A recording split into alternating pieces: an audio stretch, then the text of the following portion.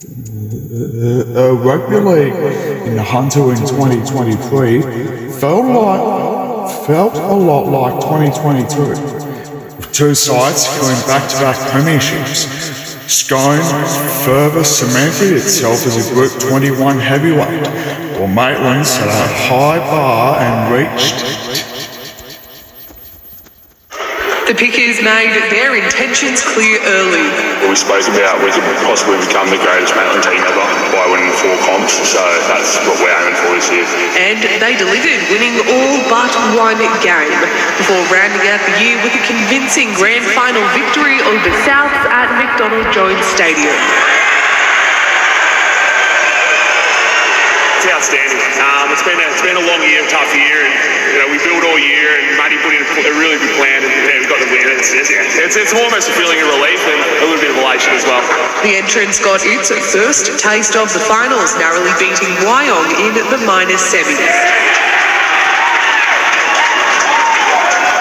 While the Northern Hawks struggled to take off in their maiden Newcastle Rugby League season, but there were highlights like when they swooped on the Butcher Boys in round eight for their first of two wins.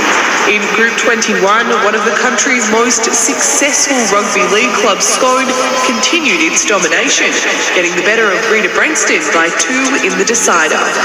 While the Newcastle Rebels claimed the State Country Championship trophy with a win over Riverina.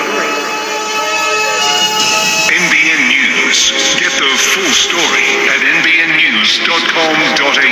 Your only local news service seven days a week. Back-to-back NRLW premierships, dual Dally M medalists, and a finals run that united its, uh, the city. 2023 will go down as one of the most successful years in the history of the Newcastle Knights.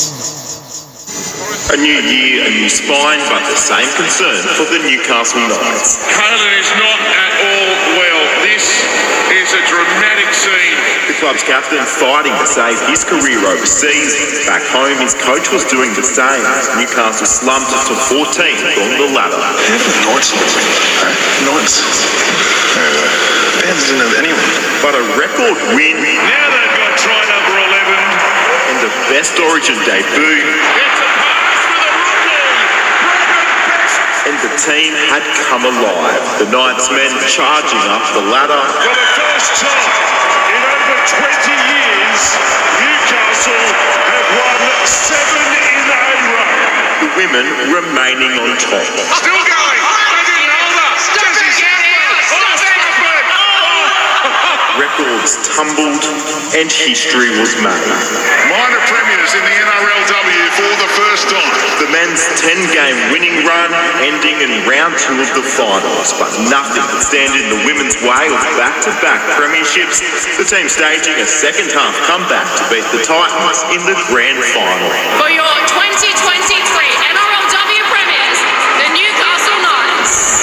Fans will forever remember 2023 as one of the Knights' golden years.